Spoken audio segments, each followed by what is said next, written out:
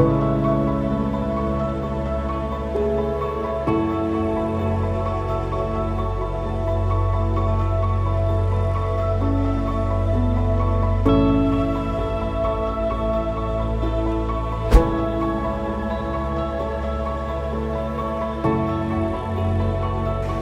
and Melissa will now come up to the altar to the to exchange the vows of everlasting love and together the sacrament of marriage.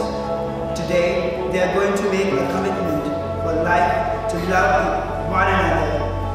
Love calls for sacrifice, understanding and trust, support and surrender, because it is not an agreement but a covenant of love, where one has to give oneself to the other totally. As we have gathered here to share this joyous day let us ask our Heavenly Father to shower His abundant blessing on them as they journey through life and make their marriage a happy and fruitful one. May the Holy Family be the model and the example to their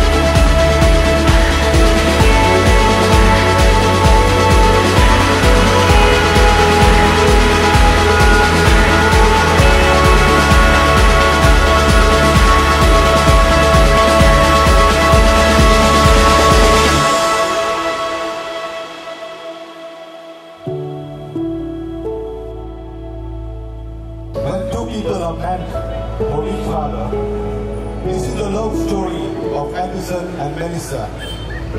It began from a distance, and soon their heart grew in love, and they became a perfect pair of people ready to commit themselves in marriage. Marriage, it means sharing your joys, your sorrows, your mind and bodies. Andersen, my godson, whom you lovingly call Edu, a very good dancer. I'm sure he will show some move later on on the stage. Hardworking and a man of faith. Melissa is a perfect match. And with an understanding heart and a loving smile, has captured the heart of Andersen and the two have blended very well into a loving, caring, and faithful couple. I my glass to wish you good health, long life, and many, many, many wonderful years of togetherness. Cheers. But the night was warm,